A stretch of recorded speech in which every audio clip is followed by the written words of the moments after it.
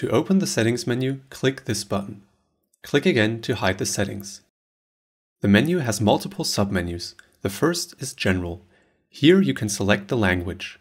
Currently, you can choose between English and German. The selected language will be used throughout XR whenever non-English wording is available. Certain keywords are always in English in order to avoid misunderstandings. Below, you can set the unit for the measuring tape. Under vertical positioning, you can change the default positioning of imported 3D models. The default positioning of XR places 3D models at a uniform zero point. To change the height at which models are positioned, you can change the offset to the floor in this drop-down menu.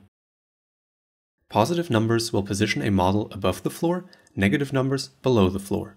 If origin offset is activated, the imported models will be placed to the coordinates provided within the file. Occlusion culling is a beta function.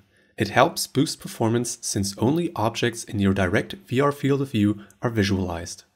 When activated, more distant objects are still there but will not be displayed to you. As soon as Shadows is activated, the shadows of 3D models are shown on the grid floor. This helps users to better assess their position. Depending on your needs, you can activate a higher brightness with this button.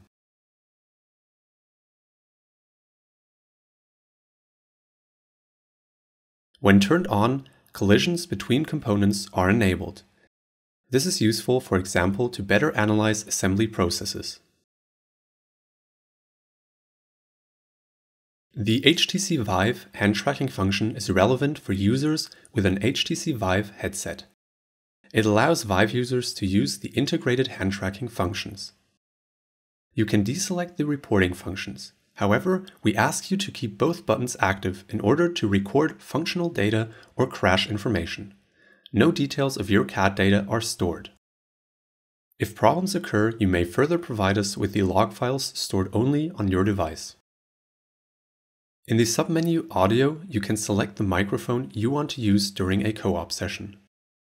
In the Import submenu, you can change the settings for different import files based on the CAD format. These settings are helpful if your models are not imported according to the original. To do so, select the format for which you want to change the settings. If necessary, you can change the up axis for your format as well as the scaling unit for your model. Try different settings until your model is imported as wanted. In the Co-op submenu, you can change the server on which a co-op session is hosted. The default of XR-EASY is set to hosting co-op sessions on the R3DT server. WebRTC is not yet available. You can also host co-op sessions internally on dedicated or on-premise servers. Please contact us for more information.